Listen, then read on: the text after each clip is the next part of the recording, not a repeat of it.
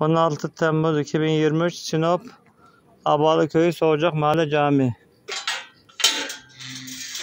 Baba kolay gelsin. Sağ olun. Güzel bir cami bahçesi. Görüşleri güzel alın. Evet çok beğendik. Yani bunu yetkililerin görmesi lazım. Hocam çok güzel çalışmış. Çevre temizliği var. Ya çocukların ilgisini çeke- çekecek şeyler de. Spor kompleksleri de yapmış. Masasıydı efendim, pimpon sahası, efe- voleybol sahası. Yani güzel bir futbol sahası, çayır çimen. Çok güzel maşallah. Yani Teşekkür ettik baba. Böyle imamlara teşekkür etmek lazım. Çevre de çok güzel.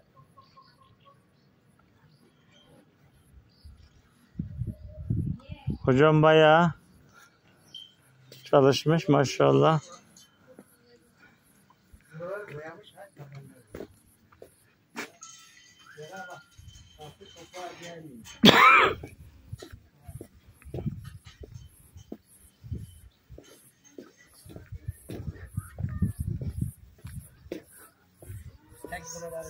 Selamun aleyküm hocam.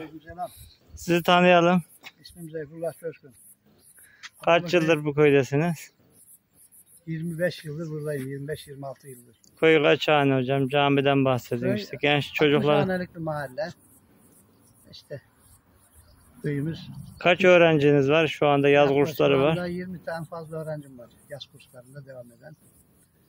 Ama sizi tebrik ederim. Yani çocukları çekmek için her türlü şey Elimizden yapmışsınız. geldiği adam çocuklar için burada güzel oyun kurduk. Onları çekmek için elimizden geleni yapmaya çalışıyoruz.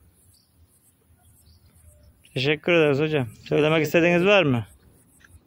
Hayırlı günler diyeyim. Ne diyeyim? Başka diyecek bir halim yok. Çek şuraları şöyle güzel gidelim.